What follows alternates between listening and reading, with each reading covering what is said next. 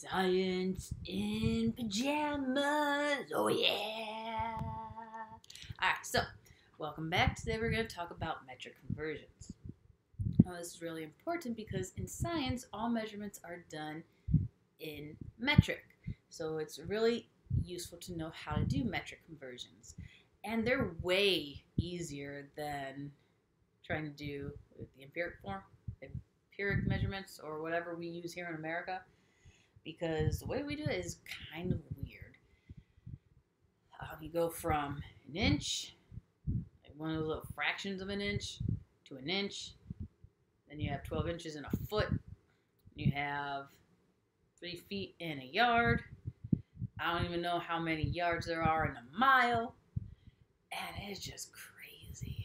Like, it's not consistent, is what I'm saying. So it's really hard to convert between them unless you actually have it memorized how much of this is in that. Whereas with metric conversions, everything either increases or decreases by a factor of 10. So what that means is instead of trying to figure out these weird and wonky, all right, three feet in one yard, but how many yards are there in a mile? A lot more than three you just increase and decrease by a factor of 10, which means you are moving the decimal place left or right.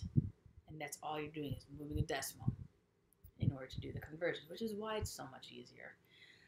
Um, so, yeah. Now we want to start off with our base unit. Now, the base unit, now, yeah, this is just the bare basics. Here are the smaller measurements, here are the bigger versions and they go farther on each side. These are just the three closest to the base unit. So the three smallest directly after the base unit, the three biggest directly after the base unit. We haven't even gotten to mega, giga, tera on this side, or even like our micro, pico, nano on that side. So we're only going to stay with the ones closest to the actual base unit for now. Now, a base unit is something like a meter, one second, a gram, a liter. So it's just that one thing. It's that standard measurement. So a meter is roughly about this big. Now we can add prefixes to a base unit in order to talk about bigger or smaller versions of it. For instance, many of us have heard of a millimeter. Millimeters, oh, super duper tiny. It is just big, as opposed to the meter. So eh, there we go. So we have meter and we have millimeter. We also have kilometers. Those are much bigger than a meter. So how we would do this and the kids always ask me, how do you, using the symbols, how do you tell the difference between a base unit and, you know, something that's bigger or smaller? Very easily. If you only see one letter, it's a base unit. What I mean by that is, that is a symbol for meter. That is a symbol for a liter. That is a symbol for a second. And that is a symbol for a gram. So those are all of our base units that we're really going to touch on today. Now, if we want to talk about smaller versions of a meter, we can talk about the decimeter, which is one tenth. Let me make that a little bit bigger. One tenth the size of a meter.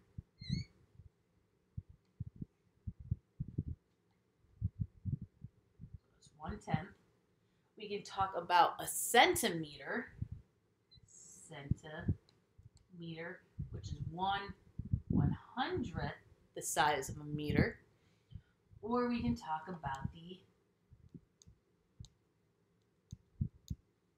millimeter, which is one one thousandth the size of a meter.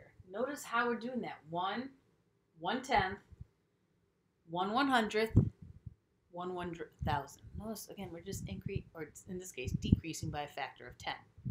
So meter, decimeter, centimeter, millimeter. And the nice thing is, the prefixes don't change, nor do their meaning for any other base unit. So we can talk about a deciliter, a centiliter, or a milliliter. We can talk about a decisecond, centisecond, and millisecond. Now, if some of these don't sound familiar, that's fine. We don't necessarily use all of them in common measurements. We barely talk about a decimeter. We're familiar with centimeters and millimeters, but we really don't use decimeters all that much. Let's see. We can talk about uh, a decigram, centigram, and a milligram. And all of these decis mean one tenth of the base unit. All of these centis mean one tenth of the, sorry, one one hundredth of the base unit. All of these millis mean one one thousandth of the base unit. Now let's go in the opposite direction, shall we? We can have a decameter, which is 10 times the size of one meter.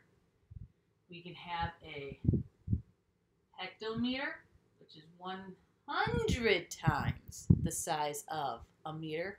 I know I didn't really space it all that well.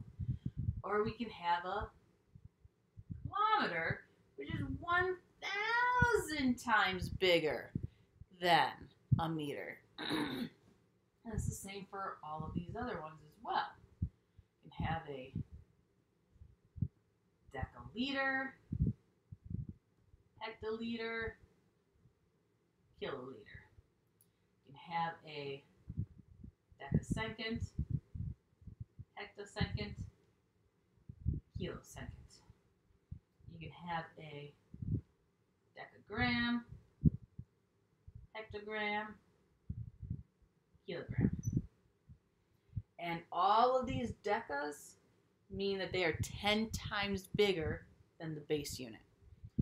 All of these hectos mean that they are 100 times bigger than the base unit. And all of these kilos mean they are 1,000 times bigger than the base unit.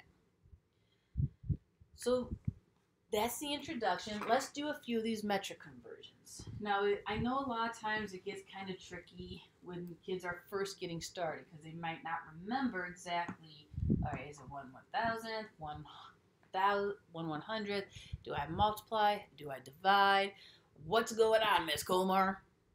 So what we're going to do is until you get more confident in yourself, we're actually going to start with what we call the ladder method. Now that's what this is up here. Notice how it kind of looks like a sideways ladder. we're going to get started using this method. And I'll show you exactly how to do it. So let's say I want to start with six millimeters and I want to convert it to just plain meters. So I want to go from millimeters to the base unit. Now what we're going to do on our top part is we are going to do exactly what it's telling us. We're going to start at millimeter. So milli is our prefix. That means we're going to start right here and we want to end at the base unit. How do I know it's a base unit? There's just one letter. There is no prefix. That means I want to land right there. To get from here to here, I have to jump one, two, three spaces to the left. Now, the nice thing about it is that actually tells us exactly what we have to do. We're going to take our six, and we are going to move the decimal place, it, place of it three places to the left. Now, I don't see a decimal point in there. What does that mean? It means that it is at the end. If you don't see a decimal point, it is assumed to be at the end. Because, you know, not including accuracy and um, significant figures, 6.0 is essentially the same thing as 6, right? Just in terms of sheer value. Yeah. So if you don't see a decimal point, it's assumed to be at the end. So I'm going to move it three places to the left. One, two, three. And you see those two empty spaces? I'm going to fill it in with zeros.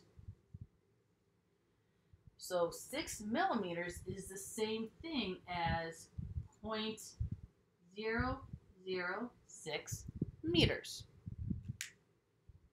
So far, so good? All right, let's do now. I want to go from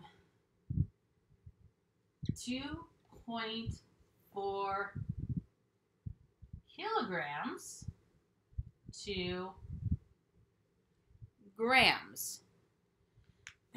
so this time I'm starting over here at kilo and I want to end up one letter, no prefix, at my base unit. So what I have to do to get from here to here, one, two, three, I have to move my decimal point three places to the right this time. So 2.4, I can see my decimal point this time. So I take that, I'm going to move it three places to the right, just like we did up here. One, two, three. One, two, three. Right there, fill in our zeros. So 2.4 kilograms is equal to 2,400 grams. All right? Not too bad, right? Not too bad. All right.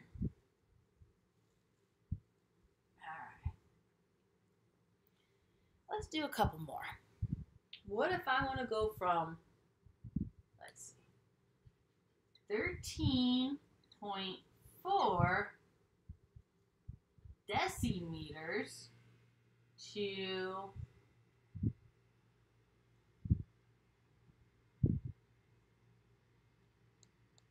decameters. All right, let's figure this out. We're starting with the prefix D, which is deci, and we're going to end up at deca. So what we have to do to get from here to here, one, two. We're going to move two places to the left. One, two.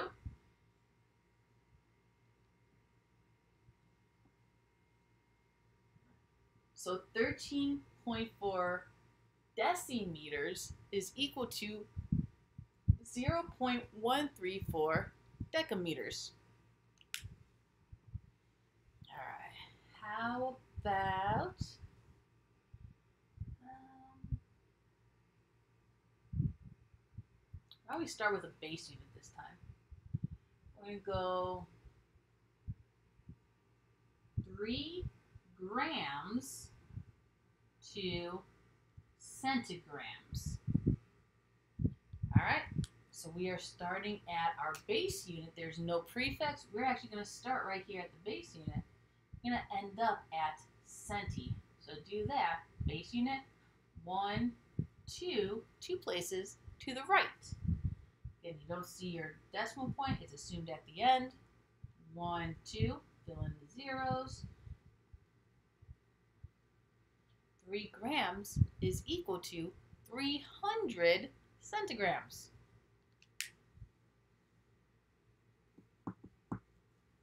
Let's do one more. What if I want to go from 7.3 milligrams to. You ready for this? Are you ready? You ready? Yeah, you're ready for this. To kilograms. Dun dun dun dun dun dun. It's getting a little dark because the sun's finally coming out. I'm sorry about that. There we go. So if we want to go from here, milli, all the way to kilo. So let's take a look at that. One, two, three, four, five, six. I have to move my decimal point six places to the left. We have 7.3, 1, 2, 3, 4, 5, 6.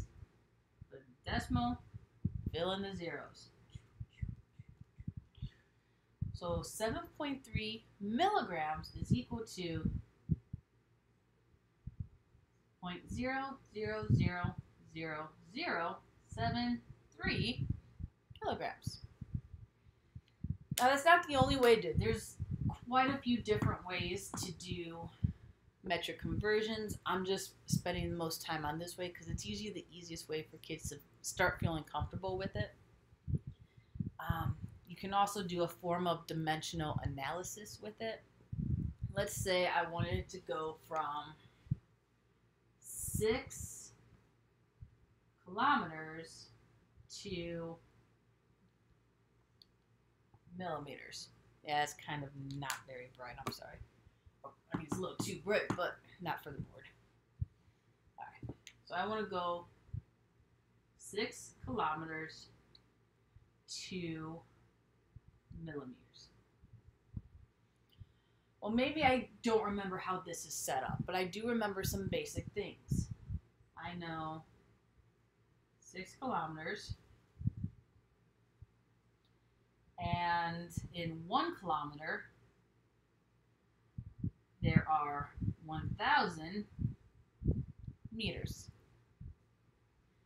And we know that because if you remember, we said that a kilometer is 1,000 times bigger. That means that 1,000 millimeters can fit into a kilometer.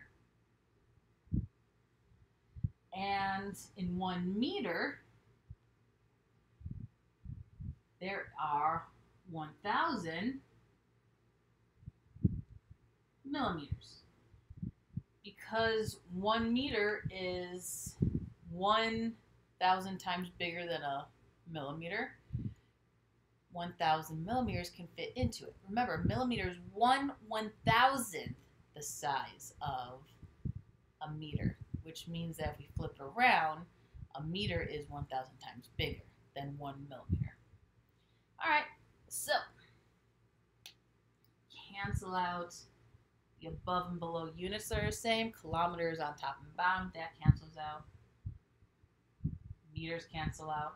And now we just multiply across. So 6 times 1,000 times 1,000 gives us 1 million over 1 times 1. And the only unit yet left is that. So 6 kilometers equals 6 million meter millimeters. And while we double check that up here. So we're going from kilometers to millimeters. Go one, two, three, four, five, six.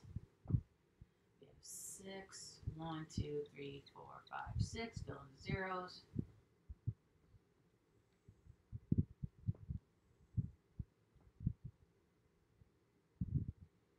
It's the same. Now, if you're not quite ready for the dimensional analysis portion, that's fine. You don't have to worry about that. At least know how to use the ladder method, though. That will help you. Like I said, it's a great way to help you just kind of start to get comfortable with metric conversions. You'll find out later on in other classes and whatnot, there's many ways to do this. There's many ways to look at dimensional analysis. So this is just a way to kind of get you interested, or not interested, because, you know, who doesn't love it? I'm, i know kids are silly, but sorry. There's just a way to kind of introduce it and help get you comfortable with it. So I hope to help. Um, in the meantime, stay safe, stay healthy, and stay awesome. All right, you guys. I'll talk to you later. Bye bye.